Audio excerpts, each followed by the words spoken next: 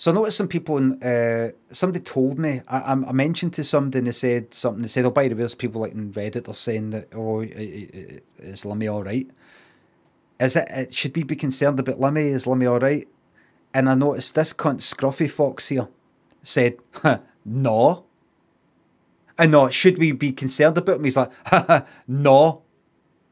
Horrible bastard. Horrible bastard uh, like true low life. It it was no lol. Actually, that's right. It was it was a no lol. And then, no content with being nasty there. He actually uses a bits donation message to say, "How are you holding up, mate? No, you've not been feeling yourself. We're all worried sick." Actually, mocking like reveling.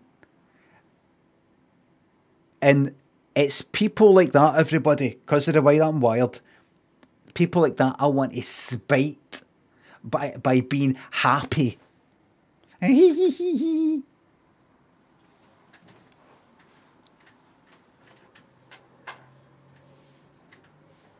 cunt used to be a mod until he was fucking cast down.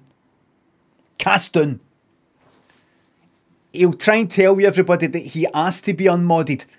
He jumped before he was fucking pushed, alright? He jumped before he was fucking pushed.